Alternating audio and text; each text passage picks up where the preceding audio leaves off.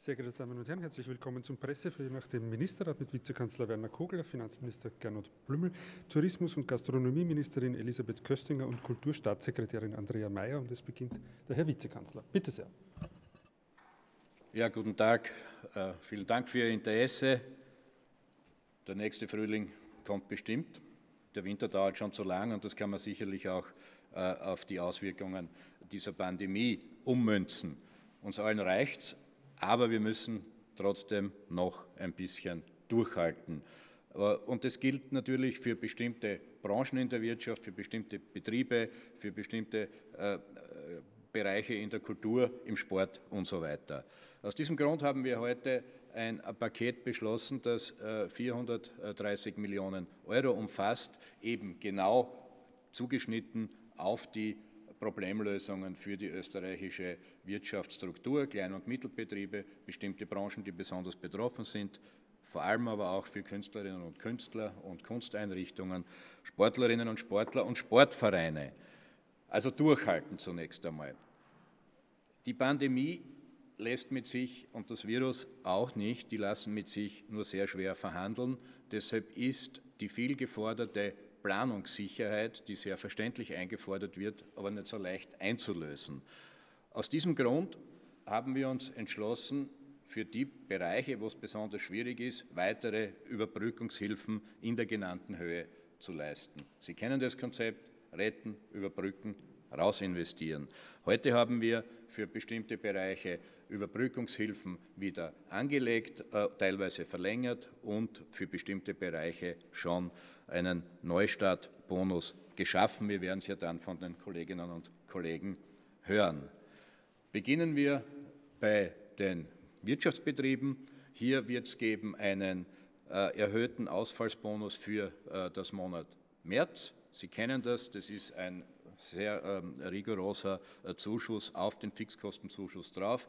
Äh, dieses wird äh, in der Summe 230 äh, Millionen Euro ausmachen und das ist genau für all jene Betriebe gedacht, die hier eben entsprechend die Umsatzverluste durch die Umstände, die wir vorher beschrieben haben, erlitten haben. Zweitens ein Kurzarbeitsbonus Sie kennen die Debatten äh, von Betrieben, die hier Schwierigkeiten haben. Äh, hier wird einerseits für die Arbeitgeberinnen und Arbeitgeber was gemacht, andererseits für die Arbeitnehmerinnen und Arbeitnehmer im Ausmaß von 150 Millionen Euro. Die Details werden noch vorgestellt etwa, dass die äh, Arbeitnehmerinnen äh, hier eine äh, Trinkgeldpauschale bekommen oder einen Ersatz dafür, weil es ja jetzt kein Trinkgeld gibt, das immerhin auch 175 Euro ausmachen wird.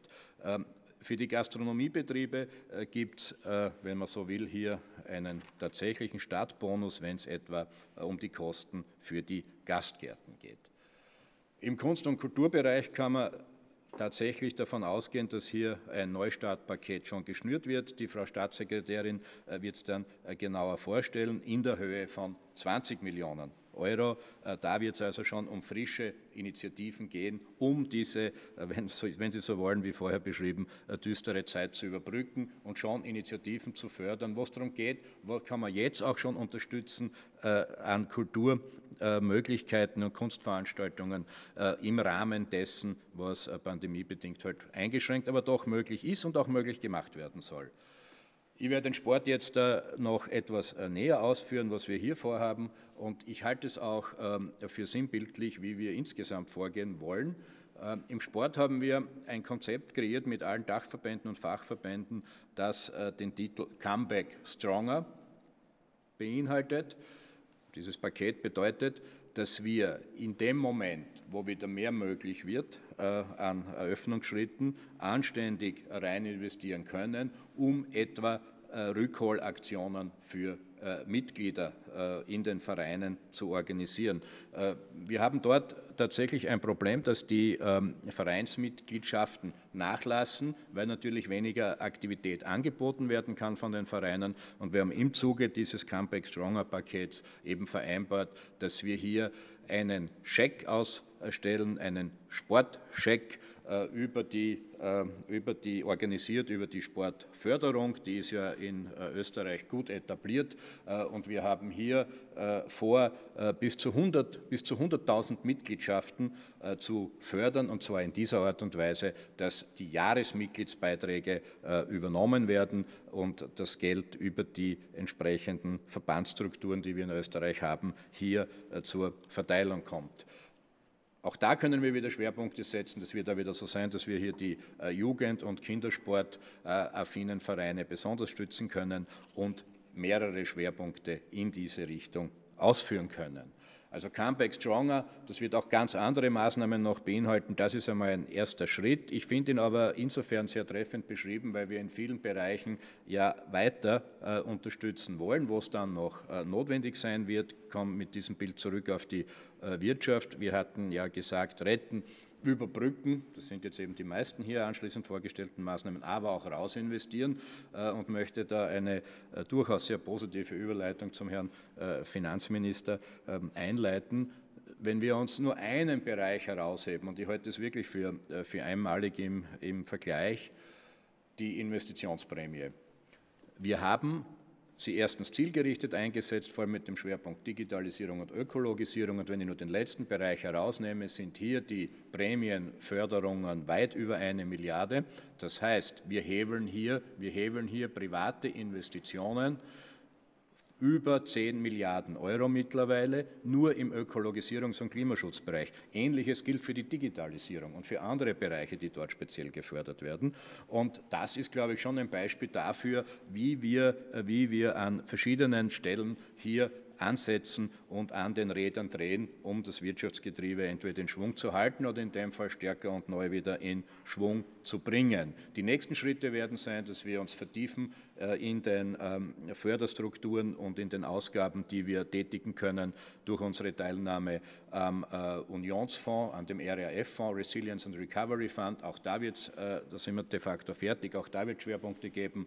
Und wir werden auch ins Frühjahr hinein weitere Initiativen planen, die genau noch diese Überbrückungsschritte beinhalten und auch Investitionen und Investitionsstützungen, um aus der Krise gut rauszukommen. Und zwar für die Firmen entlang der Firmenstruktur in Österreich, für die Branchen, die besonders betroffen sind. Und es betrifft natürlich dann beide Seiten, Arbeitgeberinnen und Arbeitnehmer, weil ja hier vor allem der Beschäftigungsaspekt im Vordergrund stehen soll. Vielen Dank. Vielen Dank. Nun Finanzminister Gernot Blümel, bitte sehr. Grüß Gott, meine sehr geehrten Damen und Herren. Vielen Dank fürs Kommen. Äh, Sie wissen, dass wir bei den Corona-Hilfen im internationalen Spitzenfeld liegen. Äh, gerade bei den Direktzahlungen, und das ist ja das Geld, das äh, bei den Unternehmen so ankommt, dass es nicht mehr zurückgezahlt werden muss, also da sind Garantien oder Steuerstundungen nicht dabei, da liegen wir in Europa, aber auch generell ganz weit vorne. Wenn wir es vergleichen mit Deutschland oder Dänemark beispielsweise, dann sind im Verhältnis zum Bruttoinlandsprodukt rund doppelt so viele Direktzahlungen bereits geflossen. Das kann sich wirklich sehen lassen. Wir haben da aus dem letzten Jahr auch nach den Rückmeldungen der Unternehmerinnen und Unternehmer viel gelernt und äh, viel adaptiert und mittlerweile fließen die Hilfen sehr, sehr schnell. Während äh, in Deutschland es noch äh, Herausforderungen gibt, haben wir bereits im Verhältnis zu Deutschland dreimal so viel ausbezahlt, äh, wenn man die November- und Dezemberhilfen alleine hernimmt. Ähm, wir haben uns auch mittlerweile eine Studie besorgt von der KMU-Forschung Austria, wo wir gefragt haben, wie kommen die Hilfen an? Wie wirken die Hilfen bei den Unternehmen?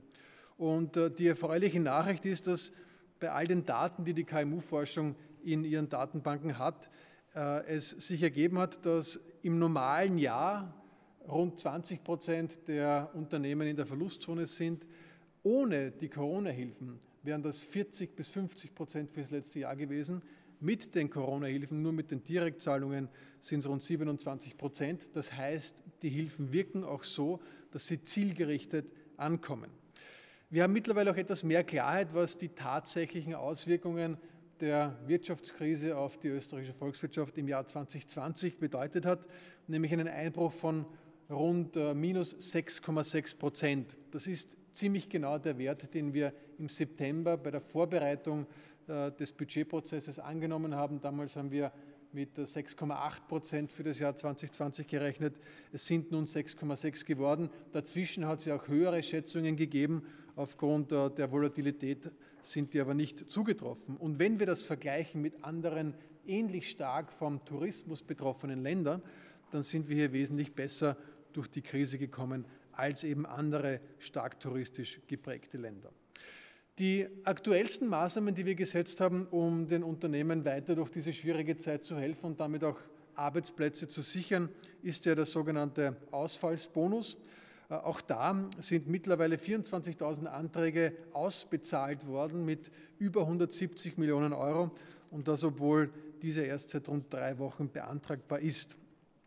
Für den Monat März werden wir jetzt diesen Ausfallsbonus nochmals erhöhen und zwar Statt der 15 Prozent wird dieser Bonus 30 Prozent beantragen, also ausmachen können. Und äh, das Volumen wird von 30.000 auf 50.000 Euro aufgestockt. Hinzu kommt noch der Vorschuss auf den Fixkostenzuschuss 2. Das heißt, insgesamt können bis zu 45 Prozent des Umsatzes bis zu maximal 80 Prozent, äh, bis zu maximal 80.000 Euro beantragt werden für den Monat Mai. Diese Erhöhung ist deswegen wichtig, weil die Entwicklung der Corona-Zahlen, die Mutationen etc. es notwendig machen, dass wir äh, weiterhin nicht so schnell aufsperren können, wie wir das gerne gehabt hätten. Darüber hinaus gibt es äh, noch eine weitere Maßnahme. In der Kurzarbeit ist es ja so, dass dennoch der Urlaubsanspruch anfällt. Und das ist gerade für jene Betriebe, die schon sehr lange zu sind, wo die Mitarbeiterinnen und Mitarbeiter schon sehr lange in Kurzarbeit sind, eine zusätzliche finanzielle Herausforderung. Und deswegen werden wir auch hier eine Einmalzahlung von bis zu 825 Euro als Kurzarbeitsbonus auszahlen. Und darüber hinaus gibt es ja auch in den Bereichen, wo es im Normalfall eine steuerlich begünstigte Trinkgeldpauschale gibt, Mindereinnahmen für die Arbeitnehmerinnen und Arbeitnehmer auch in der Kurzarbeit. Und um das entsprechend auszugleichen, damit die vielen Arbeitnehmerinnen und Arbeitnehmer, die normalerweise auch auf Trinkgeld angewiesen sind, die das als Bestandteil ihres Gehaltes auch sehen, auch in der Kurzarbeit ähm, nicht einen zu großen Einbruch haben, wollen wir hier einmalig 175 Euro netto auch äh, den Mitarbeiterinnen und Mitarbeitern in der Kurzarbeit geben. Insgesamt soll das dann ähm, steuerfrei 1000 Euro pro Arbeitnehmer insgesamt sein, die das ausmachen wird. Das gesamte Paket inklusive der bereits äh, vorgestellten Maßnahmen wird äh, rund 430 Millionen Euro ausmachen. Vielen Dank. Schön, Frau Bundesministerin Köstinger, bitte sehr.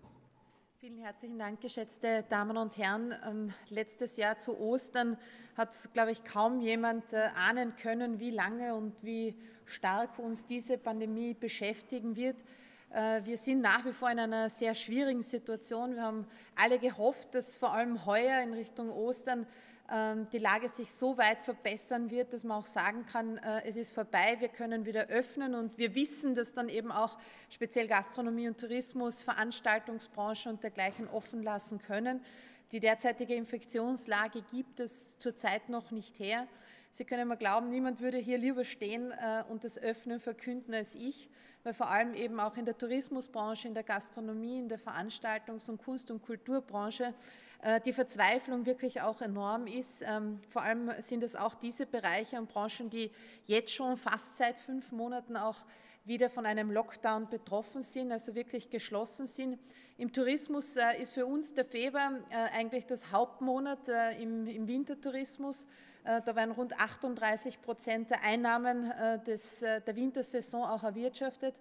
Ähm, die Situation ist nicht nur wirtschaftlich sehr belastend, sondern vor allem äh, die Wirten, die Gastronomen leiden sehr darunter, dass sie halt eben nach wie vor geschlossen haben müssen. Und wir leiden, und das kann ich Ihnen wirklich ausdrücklich versichern, auch mit diesen Branchen, egal ob das die Gastronomen sind, ob das unsere Hoteliers sind, ähm, den vielen Brautpaaren, die jetzt schon äh, seit über einem Jahr auch ihre Hochzeiten verschieben, die Veranstalter, egal ob groß oder klein, äh, die einfach einen wichtigen Beitrag auch zum gesellschaftlichen und wirtschaftlichen Leben in unserem Land leisten, den vielen Messen und Kongressen, die uns äh, vor allem auch als Wirtschaftsstandort Österreich extrem fehlen, Viele der Einkäufe werden einfach ähm, anhand auch dieser Veranstaltungen getätigt.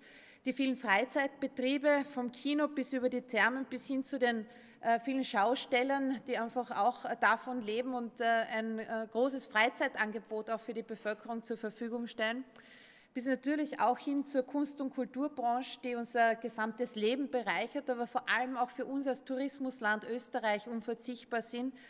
Äh, die gesamte Reisebranche, also die vielen Reiseveranstalter und Reisebüros, die unter der weltweiten Reiseeinschränkung enorm leiden. Ähm, normalerweise ist das jetzt auch die Zeit, wo man sich schon überlegt, äh, wo man dann eben auch den Sommerurlaub bucht und wo man hinfliegt.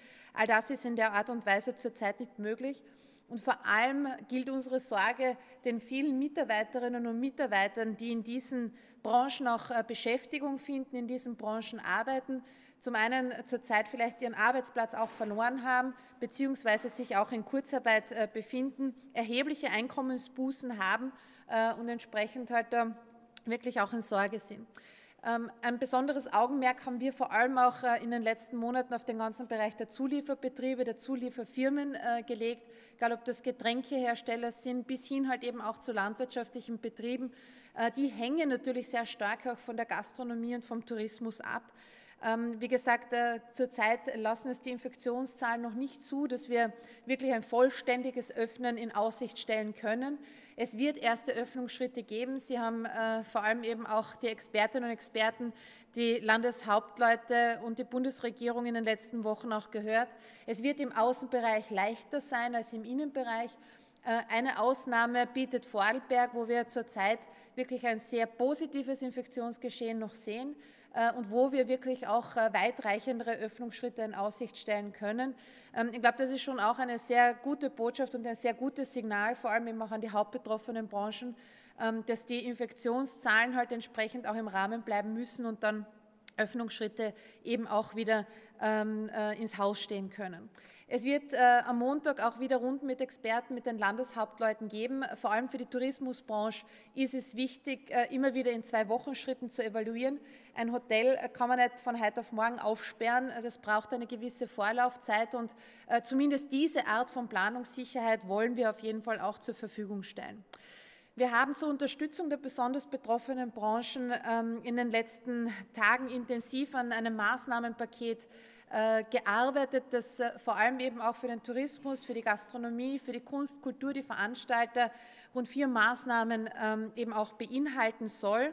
Zum einen ist es der Kurzarbeitsbonus für die Unternehmen und ihre Mitarbeiter. Die Mitarbeiter sind einfach das wichtigste Kapital in unseren Betrieben.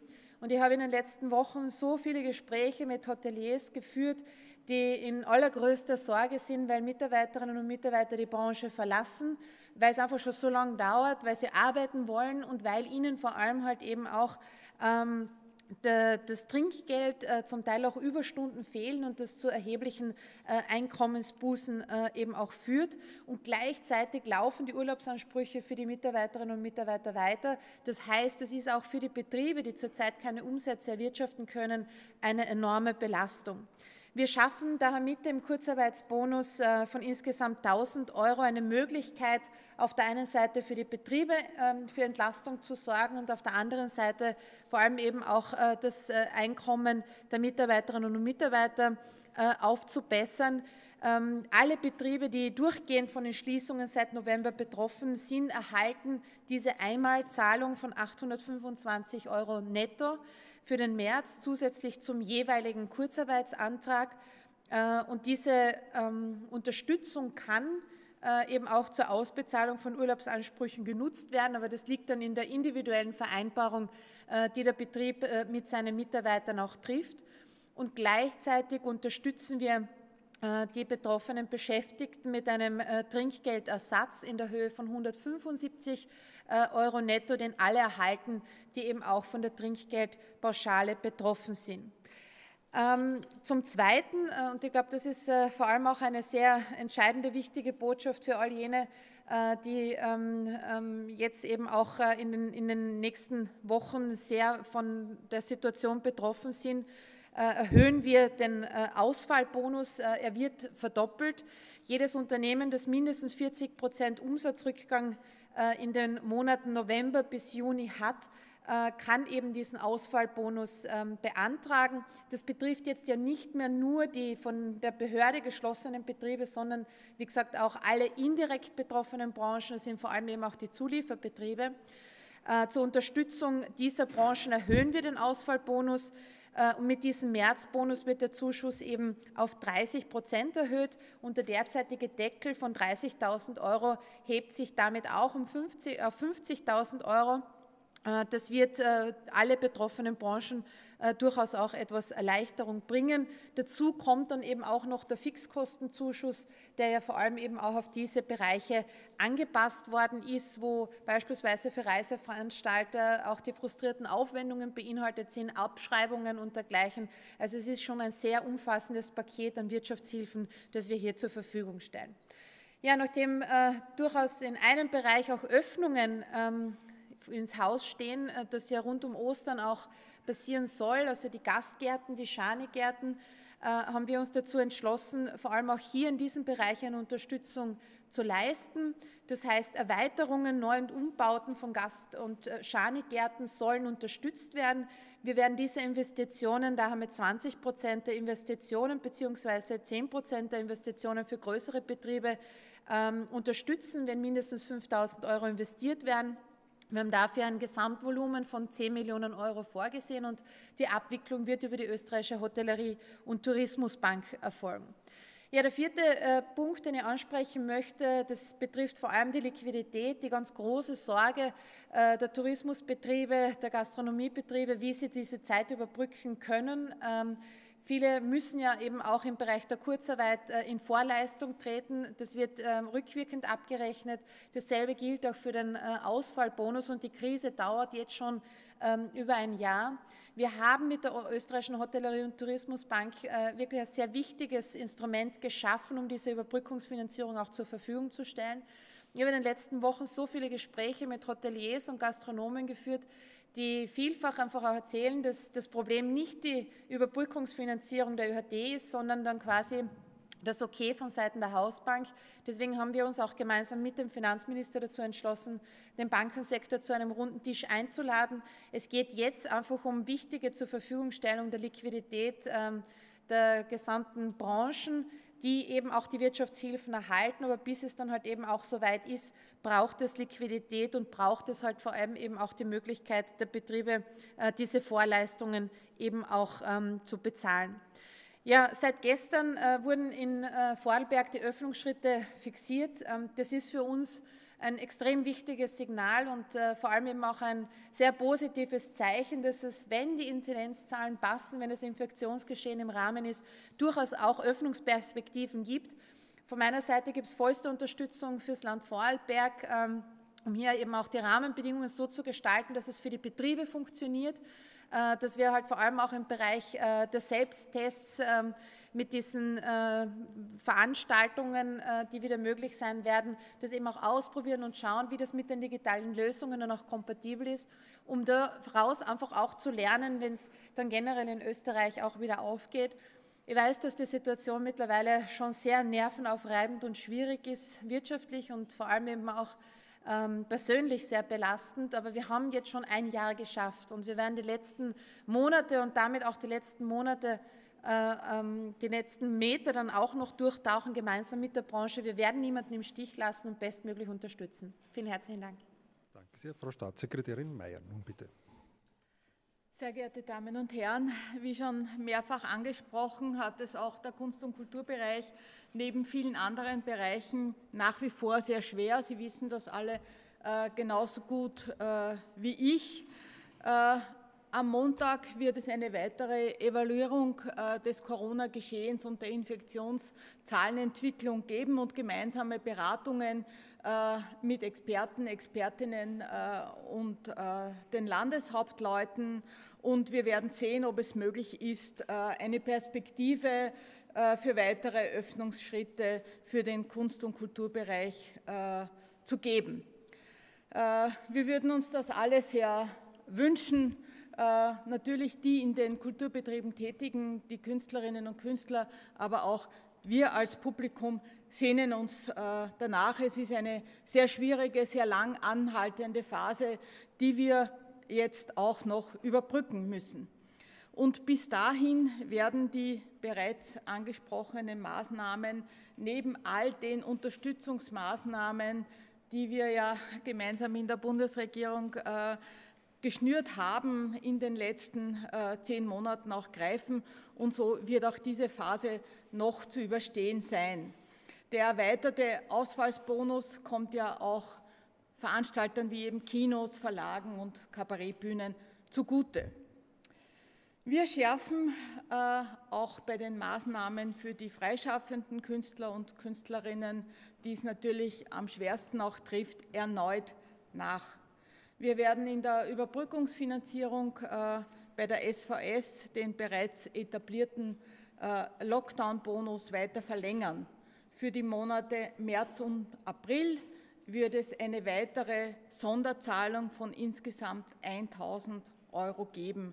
Neben den Tranchen für November, Dezember, Jänner und Februar ist das jetzt bereits die dritte derartige Zahlung, zusätzlich zur generellen Unterstützungsleistung von 1000 Euro pro Monat, die die Künstlerinnen und Künstler dort sehr rasch, sehr einfach abrufen können.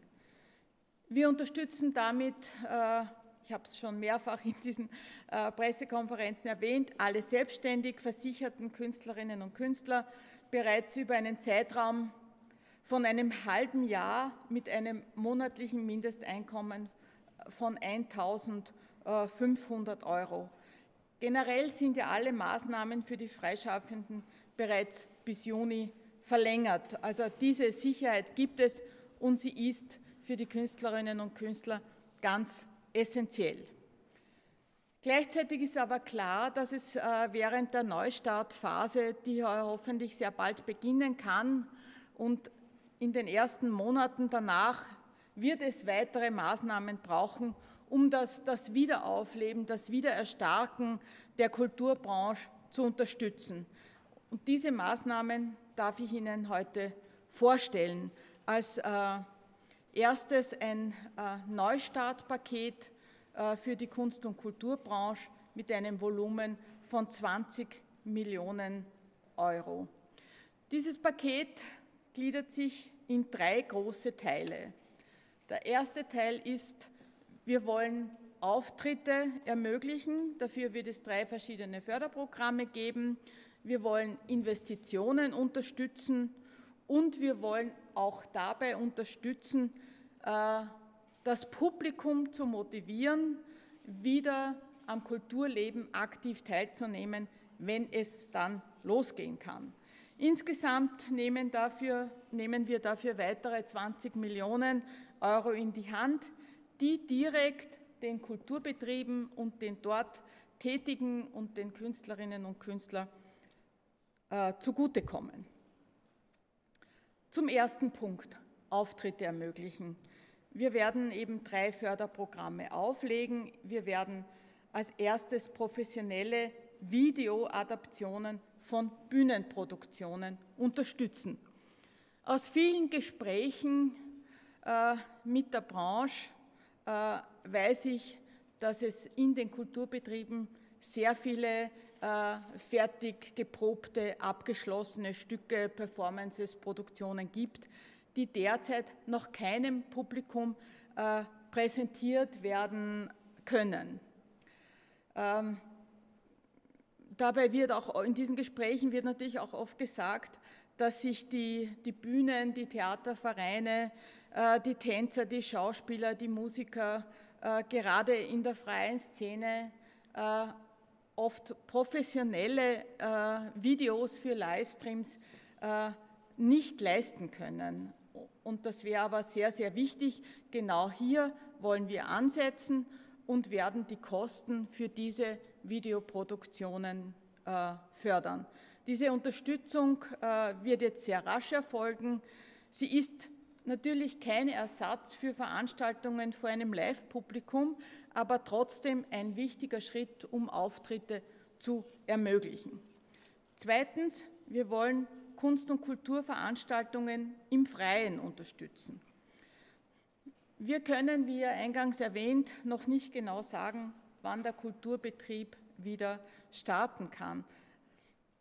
Klar ist aber, dass es in der nächsten Zeit noch so sein wird, dass Outdoor-Veranstaltungen, solange eben die Pandemie andauert, als sicherer angesehen werden als Indoor-Veranstaltungen.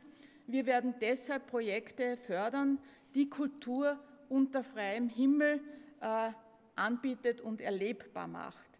Wir werden diese Projekte bei den Investitionen unterstützen, die eben dafür notwendig sind, sei es ein Aufbau einer Bühne oder die Anschaffung von Sitzgelegenheiten. Und drittens, wir werden innovative künstlerische Ausdrucksformen unterstützen. Die Künstlerinnen und Künstler, die in Österreich leben und arbeiten, haben enormes Potenzial, das auch noch stärker zur Entfaltung kommen kann.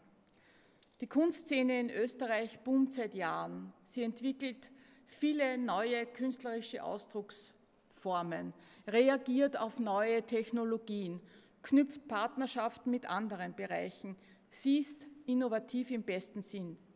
Wir müssen auch hier in unserer Förderpraxis agil sein, um diese positiven Dynamiken, die auch jetzt aus der schweren Zeit herausführen können, bestmöglich zu begleiten.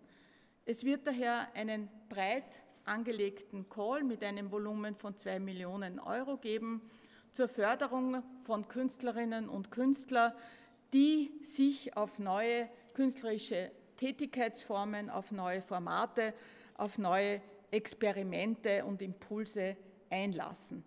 Insgesamt werden eben für diese drei skizzierten Bereiche sechs Millionen Euro zusätzlich äh, ausgeschüttet. Damit möchte ich zum zweiten großen Punkt kommen, den Investitionen. Wir werden weitere 10 Millionen Euro in die Sanierung und Modernisierung von nach wie vor geschlossenen Kulturräumen investieren. Da kann es jetzt um Bestuhlung gehen, um Belüftungsanlagen oder auch um neue Websites und andere wichtige Investitionen für den Neustart. Wir wollen, dass sich die Räume, in denen Kunst stattfindet, einladend und attraktiv präsentieren können, wenn sie wieder für das Publikum geöffnet werden.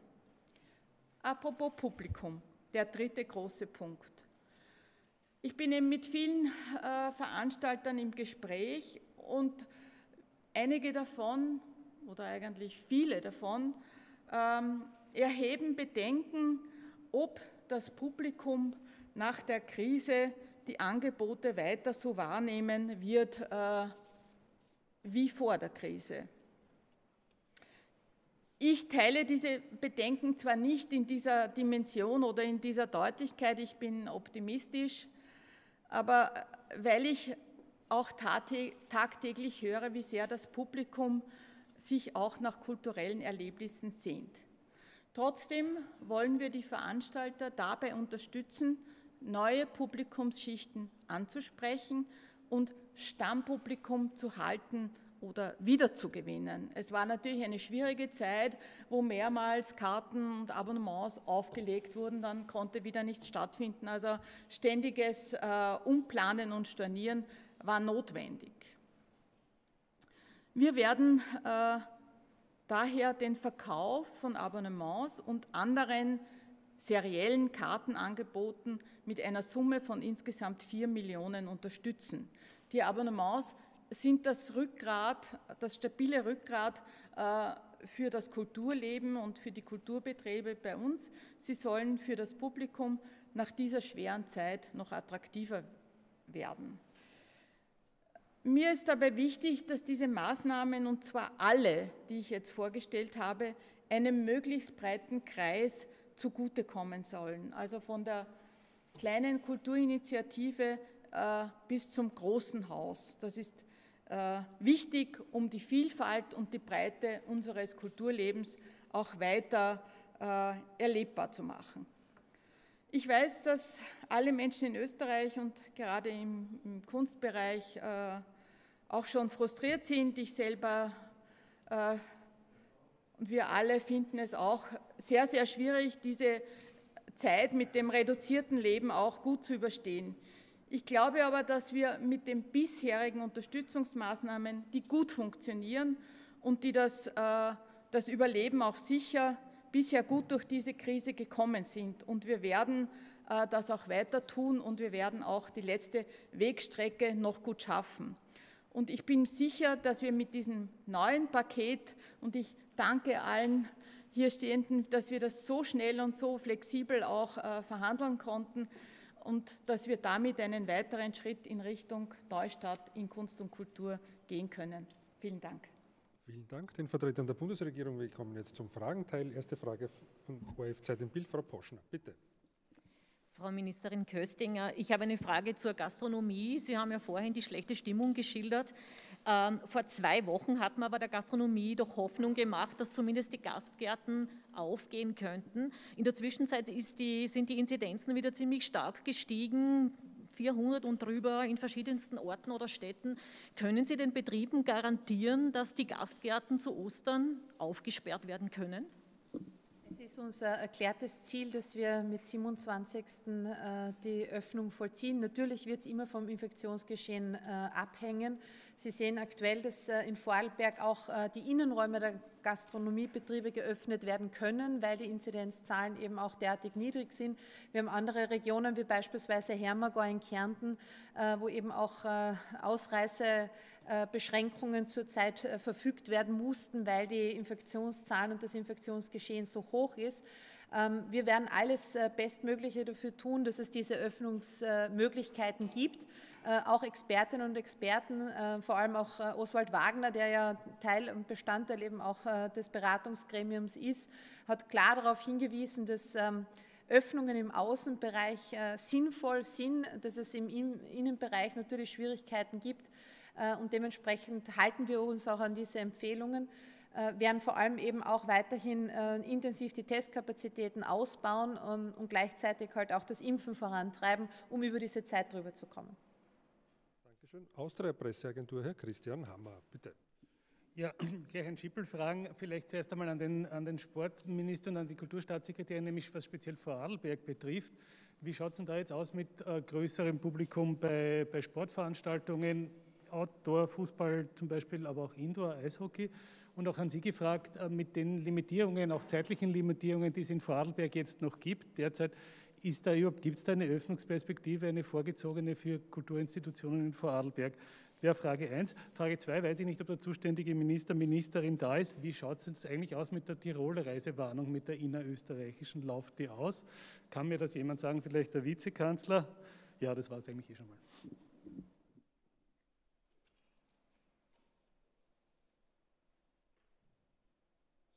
Das kann ich Ihnen nicht genau sagen. Äh, sie würde, sie würde wohl auslaufen. Ob und inwieweit sie verlängert wird, ist äh, jetzt äh, noch Gegenstand einer eigenen Betrachtung. Zum ersten Vorarlberg und Sportmöglichkeiten, das hat sie ja bezogen sowohl auf die Zuschauer als auch auf die Sportausübung. Die Zuschauerzahlen sind, äh, soweit äh, Vorarlberg das Konzept selber vorgelegt hat und Einigung mit dem Gesundheitsministerium besteht, bei 100 limitiert. Das gilt ja dann wohl für alle Veranstaltungen. Das ist das eine. Äh, das zweite ist, dass auch in Vorarlberg äh, nicht alles auf einmal äh, geschieht, sondern auch dort wird in Schritten gedacht. Das bedeutet jetzt speziell für die Sportausübung, äh, etwa wieder bei Kindern und Jugendlichen, dass in der ersten Runde tatsächlich noch der zwei Meter Abstand einzuhalten ist, dass aber die entsprechenden Trainings in den entsprechenden Gruppen so stattfinden können. Das allerdings gilt wieder Indoor und Outdoor. Also anders als auf Bundesebene, da werden wir am 15., das ist eigentlich auch eine erfreuliche Sache, am 15. so weit sein, dass wir für äh, Kinder und Jugendliche hier äh, sportliche Aktivitäten äh, zulassen können. Das ist ja schon annonciert worden und das wird sich aber ähnlich abspielen, dort aber nur Outdoor. Vorarlberg Outdoor und Indoor, aber mit, mit Abstand. Ja, ich finde es sehr erfreulich, dass, die, äh, dass das Infektionsgeschehen in Vorarlberg so ist, äh, dass alle Bereiche öffnen können, so auch die Kulturbetriebe und dass wir in Vorarlberg Kulturveranstaltungen äh, haben werden. Natürlich ist das jetzt ein Pilotprojekt und es ist sozusagen unter, unter strengen Rahmenbedingungen, aber immerhin ist es ein, ein erster Öffnungsschritt mit 100 Personen im, im Publikum, auch indoor. Und das ist erfreulich, dass das jetzt einmal getestet werden kann, auch mit den Selbsttests für die Kulturbetriebe. Also ich bin sehr positiv gestimmt, dass es in einem Teil von Österreich ab Montag Kulturveranstaltungen geben werden kann. Herr Kiemeswenger von ATV, bitte. Ich hätte auch eine Frage, auch anlässlich dieses Unterstützungspakets, das Sie da heute präsentieren. Würden Sie sagen, heißt das für Sportvereine, für GastroInnen, für all die, die sich Hoffnungen machen, im April aufmachen zu dürfen, dass es jetzt eher schlecht ausschaut, wenn wir uns diese Wirtschaftshilfen jetzt auch anschauen, die dazukommen, weil die werden wohl auch diesen Hintergedanken haben, dass bei etwaigem Zusperren einfach Unterstützung weiterhin da ist. Ähm, dann eine Frage zur Ausreiseverordnung, vielleicht an den Herrn Vizekanzler. Ähm, jetzt hat es Aufregung gegeben, Wiener Neustadt hat sich da gesträubt einige Tage. Jetzt wird das heute nicht wirklich durchgeführt, dort wird nicht wirklich kontrolliert. Ist das aus Ihrer Sicht für eine größere Stadt überhaupt umsetzbar? Da hat es ja den ÖVP-Bürgermeister Wiener Neustadt gegeben, der gesagt hat, das ist eigentlich nicht umsetzbar äh, für eine Stadt wie Wiener Neustadt. Ist das in der Geschwindigkeit umsetzbar, beziehungsweise ist das überhaupt machbar für Städte? Und eine Frage noch an die Frau Köstinger in ihrer Funktion als Landwirtschaftsministerin. Äh, jetzt haben wir ein Jahr Pandemie. Ähm, jetzt haben wir immer wieder geredet, dass wir autarker werden wollen, die Versorgungssicherheit gewährleisten. Was hat sich denn für die Landwirtschaft nach diesem einen Jahr getan? Ist diese Versorgungssicherheit aus Ihrer Sicht inzwischen mehr gewährleistet? Ist Österreich nach einem Jahr Autonomie autarker geworden? Also einige Punkte. Äh, die Bestimmungen zum äh, Verlassen bestimmter Regionen, oft Bezirksgrenzen oder größere Städtegrenzen, halte ich ausdrücklich für sinnvoll. Wir haben uns ja auch äh, darüber committed äh, mit den äh, Landeshauptleuten. Das hängt ja von der Höhe der sogenannten Inzidenzen ab. Dass das in unterschiedlichen Fällen unterschiedlich schwer äh, exekutierbar ist, wenn Sie so wollen, kontrollierbar ist, liegt äh, äh, auf der Hand. Tatsächlich ist es so, dass hier ja Unterstützung angefordert wurde. Ich halte das ja auch für vertretbar und für sinnvoll. Und dort hat man sich ja dann zumindest auf eine doch recht resolute Stichprobenkontrolle verständigt. Das ist mein Wissensstand. Ich halte das aber ausdrücklich für sinnvoll, weil nämlich die Regionalisierung von Maßnahmen, und das kann man ja in diese Richtung sehen oder deuten, oder auch in die positive Stichwort Vorarlberg, dass wir hier, anders als im Herbst, regional vorankommen wollen, sei es um was einzudämmen, sei es aber auch, was früher zu ermöglichen. Weil wenn man sich anschaut, die, die Inzidenzunterschiede Vorarlberg und in Teilen Ostösterreichs sind zum Teil ein Vielfaches. Ja, da muss man so agieren und da muss man so agieren. Wir hoffen, dass wir das so lange als möglich durchhalten können äh, und wir, äh, wir hätten äh, wir es uns so vorgenommen. Ähm, damit nicht ganz in Zusammenhang äh, das Aufsperren generell. Das werden wir sicherlich aber wieder am, am 15. beraten, was hier weitere Schritte sind. Aber daraus, äh, aus den Förderungen, äh, die wir jetzt hier äh, an, äh, verkündet haben, rückzuschließen, äh, was alles geht oder nicht geht, geht, ist, glaube ich, deshalb verfehlt, weil ja bestimmte Aufsperrschritte ohnehin mit Ende März, wenn Sie so wollen, 27. März angedacht waren. Ich rede jetzt wieder vom ganzen Bundesgebiet, sodass also es ja nur äh, richtig ist, dass wir äh, den März auch als dieses, Monat, äh, als dieses Monat identifiziert haben, wo zum Beispiel über die Kurzarbeit, über den Ausfallsbonus hier ein Zeitraum vorgesehen ist, an dem man ansetzen kann, weil ja sich das alles verlängert. Das war ja genau äh, die Einleitung und deshalb der Begriff Überbrückungsmaßnahme. Vielleicht auch mit einem Satz äh, anschließen darf. Wir haben in den letzten Wochen zig Gespräche mit den unterschiedlichen Branchenvertretern und vor allem eben auch mit Hoteliers, mit Gastronomen geführt. Äh, und vor allem eben auch diese Frage des Urlaubsanspruches ähm, ist etwas, das wirklich sehr unter den Nägeln brennt. Ähm, wo vor allem auch die ÖHV äh, sehr aktiv geworden ist, äh, das eben auch einzufordern und äh, sehr gut eben auch darstellen kann, ähm, warum das für die Betriebe mittlerweile eben auch was die Liquidität betrifft sehr schwierig wird. Aber ein konkreter Satz auch noch dazu. Ähm, das Aufsperren allein heißt noch nicht, dass es dann wirklich auch wirtschaftlich ist. Ähm, Sie haben das sicher auch als Vorarlberg verfolgt. Ähm, äh, es gibt natürlich eine Diskussion um die Sperrstunde. Für die Gastronomie ist das Abendgeschäft sehr, sehr wichtig. Das heißt, diese Wirtschaftshilfen und diese Unterstützungsleistungen wird es auch weiterhin brauchen, auch wenn wir Öffnungsschritte machen. Ähm, weil viele sind beispielsweise aktuell auch noch im Homeoffice, also das Mittagsgeschäft ist bei weitem nicht so, wie man es in normalen Zeiten gewohnt ist. Es wird weiterhin wirtschaftliche Unterstützung brauchen und wir sind gerne bereit, immer wieder auch Anpassungen vorzunehmen, um damit ähm, auch maßgeschneiderte Lösungen für die Betriebe anbieten zu können. Das ist uns sehr wichtig. Und äh, der zweite Punkt, den Sie angesprochen haben, betreffend der Landwirtschaft, ähm, das betrifft zwei Bereiche meiner Meinung nach. Zum einen einmal ist auch die Landwirtschaft massiv betroffen äh, von ähm, Umsatzeinbrüchen, äh, vor allem eben auch jene Betriebe und Bra Branchen, die sehr stark für Gastronomie und Tourismus produzieren. Das ist Obst und Gemüse, das ist die gesamte Fleischwirtschaft. Äh, der, Wein, äh, der Weinbau ist ganz massiv betroffen, ähm, eben auch äh, von der Schließung der Gastronomie und des Tourismus in Österreich. Wir haben in den letzten Wochen auch hier einen Verlustersatz geschaffen. Da wirklich ein großes Dankeschön, vor allem auch an den Finanzminister, dass es uns gelungen ist, auch diese Bereiche abzusichern und zu unterstützen. Ähm, und zum Zweiten betrifft es halt eben auch die Frage der Selbstversorgung. Also auf der einen Seite müssen wir die Betriebe mal wirtschaftlich so stabil halten, dass sie auch über diese Zeit kommen. Das ist uns gelungen. Und das Zweite, was wir massiv verfolgt haben im letzten Jahr, war auch eine Bewusstseinskampagne für heimische Lebensmittel. Wir haben gemeinsam mit der gesamten Agrarwirtschaft, mit der Branche die Initiative Das ist Österreich ins Leben gerufen, wo wir halt eben auch auf regionale Produkte und die Wertschöpfung, die damit verbunden ist, äh, hinweisen, wo wir vor allem eben auch mit dem Armer Genussregion Gütesiegel eine Qualitäts- und Herkunftskennzeichnung geschaffen haben, die vor allem für bäuerliche Direktvermarkter, aber auch für Gastronomiebetriebe und Manufakturen eine höhere Wertschöpfung bringen soll.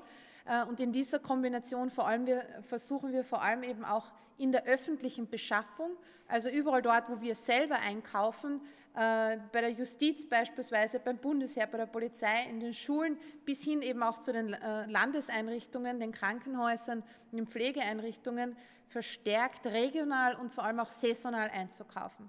Ähm, ein Erfolgsbeispiel vielleicht, das uns in den letzten Monaten gelungen ist, vor allem die Geflügelproduktion hat massiv anziehen können, also dadurch, dass ähm, auf der einen Seite auch der Lebensmitteleinzelhandel die meisten der Lebensmitteleinzelhändler sich dazu verpflichtet haben, nur mehr österreichisches äh, Fleisch auch ähm, zu listen, vor allem Frischfleisch, ist uns da gelungen, durchaus auch die Produktion zu steigern. Und das ist, glaube ich, ein sehr gutes Beispiel, wie es uns eben auch im Bereich der Versorgungssicherheit gelingen kann, äh, überall 100 Prozent und damit auch maximale Unabhängigkeit zu erreichen. Dankeschön. Von Servus die Frau Frau Postbeschön, bitte. Ja, eine Frage an die Frau Tourismusministerin äh, zu Vorarlberg. Äh, da haben sich äh, die Gastronomen zum Teil recht unglücklich darüber gezeigt, dass diese Selbsttests, die man zu Hause macht, zwar für Veranstaltungen gelten, aber nicht äh, für die Gastronomie. Da braucht man so einen aus einer Teststraße. Hätten Sie sich gewünscht, ähm, dass das auch für die Gastronomie ähm, gilt? Und wäre das dann im Hinblick auf ganz Österreich auch Ihr Wunsch, ähm, dass eben diese Selbsttests auch anerkannt werden? Und noch eine Frage an den äh, Herrn Vizekanzler anschließend an die Frage vom Kollegen zur Umsetzbarkeit von diesen Ausreisekontrollen. Es gibt jetzt da auch das Gegenteil. Viele Gemeinden, gerade in Tirol, die sehr klein sind, wo es 20 Fälle ähm, zum Beispiel gibt. Ist es da auch ähm, zumutbar, dass man diese Ausreisekontrollen doch über einen relativ langen Zeitraum dann aufrechterhält? Vielleicht zur ersten Frage der Selbsttests. Sie haben das gestern auch verfolgt, die intensiven Verhandlungen zwischen dem Land Vorarlberg und dem Gesundheitsministerium. Ich glaube, dass es gut ist, in einem ersten Schritt das äh, anhand der Veranstaltungen zu testen, zu schauen, wie das dann eben auch in der Umsetzung funktioniert. Äh, das Land Vorarlberg äh, ruft ja eine digitale Plattform ins Leben, dass dort quasi auch die Tests validiert werden können, die zu Hause selbst eben auch gemacht werden. Ähm, es ist gut, das einmal auch zu testen, aber wünschenswert wäre es natürlich, dass das dann auch äh, weiter ausgerollt wird, dass eben auch äh, Gastronomie, Tourismus äh, und alle anderen Bereiche und Branchen dafür profitieren können, dass man selbst die Möglichkeit hat, sich zu testen. Wie gesagt, Schritt für Schritt. Wir werden sehr viel jetzt von den Öffnungen im Vorarlberg lernen und das soll natürlich dann in weitere Schritte einfließen. Das ist unser erklärtes Ziel. Zur anderen Frage also ich halte für richtig, was sinnvoll machbar ist. Äh, das ist viel, da ist jetzt äh, vieles äh, neu, das ist richtig. und das wird auch sicherlich von den Expertinnen und Experten weiter beobachtet werden, wie kleinteilig solche Schritte zu setzen sind. Aber ab einer bestimmten Größe von Gemeinden ist das mit Sicherheit sinnvoll und so ist es ja auch vereinbart. Und das, also ich halte alles für nützlich, was dazu dient, dass man andere Regionen mehr, in anderen Regionen mehr zulassen kann, wenn wir dort, wo was entsteht, was einfangen können. Das ist das Grundprinzip. Und äh, natürlich äh, sind die, die Fragen der, praktischen Umsetzung dann äh, immer auch noch äh, relevant. Und vielleicht noch zur Modellregion Vorarlberg, und ich sage ausdrücklich Modellregion. Ich habe das äh, gestern auch noch selber mit dem Herrn Landeshauptmann Wallner besprechen dürfen, dass es zwar verständlich ist, und es war auch logisch, dass die Gastronomen so argumentieren werden, was die, Tests, die unterschiedlichen Tests betrifft, äh, die Testmethoden. Auf der anderen Seite ist es ja auch, ist es ja auch weil es ein Modellversuch ist, ein, quasi eine Erkenntnisregion für ganz Österreich. Was funktioniert wie? Und das glaube ich, das glaube ich, diese Gelegenheit sollten wir nicht auslassen, dass wir beobachtet werden. Und ja, es kann ja sein, dass in einem zweiten Schritt, in bestimmten Wochenabständen, sich auch das wieder verändert. Das ist ja ähnlich wie bei Sport und Kultur, wie vorher beschrieben. Danke. Von der Presse die Frau Wenzel, bitte.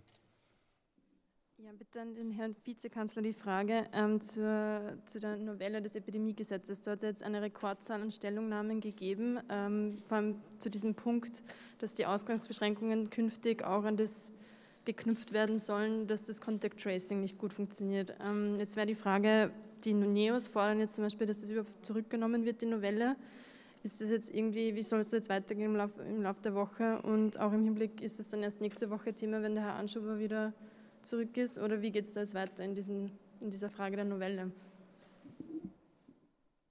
Also der Kollege Anschober ist ja, äh, wie vom Ministerium äh, verlautbart, äh, in äh, äh, später als Beobachtung und macht Untersuchungen und wird nächste Woche wieder da sein. Das ist das eine. Das zweite ist, dass wir natürlich äh, im Begutachtungsverfahren äh, dieses äh, berücksichtigen werden. Aber Sie wissen, dass da, äh, weil Sie die große Anzahl erwähnt haben, ähm, viele de facto deckungsgleich sind äh, und es tun sich mehrere Fragen auf und das wird, äh, das wird entsprechend behandelt werden. Äh, was das Contact Tracing betrifft, ähm, ist das äh, schon auch eine sinnvolle Stellgröße, wie ich meine, um daraus ähm, Maßnahmen abzuleiten, weil ja das sozusagen die Vorausindikatoren sind, wie wie wirkungsvoll eine Pandemie, nämlich schon beim Anschw erkennbaren Anschwellen zu einer neuen Welle äh, bekämpft werden kann. Und wie Sie wissen, gibt es auch da große regionale Unterschiede.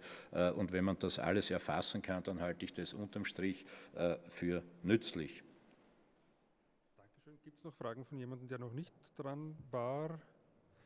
Herr Meng von Ö24, bitte. Mayer, Sie haben ja vorhin erwähnt, äh, dass man die Kunst und Kultur mehr ins Freie bringen soll. Was bedeutet das jetzt äh, für beispielsweise geschlossene Theater und für all jene Institutionen, die das nicht machen können? Ist das so ein bisschen ein Fingerzeig, dass es noch viele Monate so gehen wird und dass man sich vielleicht auf Sommertheater hier äh, vertrösten lassen muss? Nein, äh, wie schon gesagt wurde, geht es bei diesen Unterstützungsmaßnahmen äh, jetzt nicht äh, konkret darum, wann jetzt ein Öffnungsschritt erfolgt und wann nicht, sondern äh, das sind einfach Angebote für ein, ein äh, vielfältiges Kulturleben, auch für flexible Maßnahmen und äh, wir wissen ja alle, dass Outdoor-Angebote sicherer sind, dass sich auch vielleicht das Publikum dort sicherer fühlt. Es kommt Frühling, Sommer, also wir möchten halt einfach Kulturbetrieben auch diese äh, Möglichkeit äh, nahebringen und sie dabei auch bei den Investitionen unterstützen. Danke. Wir sind äh, eigentlich schon über der Zeit. Noch zwei ganz kurze Fragen und bitte um kurze Fragen und kurze Antworten. Zunächst die Frau Poschner und dann der Herr Hammer. Bitte. Ich glaube, dass in am ersten Sie zuständig, Frau Ministerin Köstinger, äh, äh, im Zuge der Affäre um die, äh, um die Hygiene Austria gab es eine Diskussion darüber, wie viel wert das Gütesiegel Made in Austria ist. Ähm, dieses Gütesiegel, ich meine, kann man das auf neue oder muss man das auf neue Beine stellen? Weil offenbar gibt es da jetzt, ist das ein bisschen unklar, was es dazu braucht, um dieses Gütesiegel tatsächlich zu bekommen. Also ich glaube, es ist grundsätzlich festzuhalten, dass es sich da um einen Betrugsskandal äh, handelt. Natürlich muss jetzt äh, überprüft und geschaut werden, wo Schwachstellen sind, aber ich würde äh, weder ein Zertifikat äh, in Frage stellen äh, noch sonstiges. Äh, Einzelpersonen haben da versucht, sich in einer Krise zu bereichern. Da braucht es vollständige Aufklärung und dann eben auch die notwendigen Schlüsse. Herr Hammer, kurze Frage, kurze Antwort. Aha, dann sind wir eigentlich durch. Äh, danke den Vertretern der Bundesregierung und Ihnen vielen Dank für Ihre Fragen und fürs Kommen. Danke.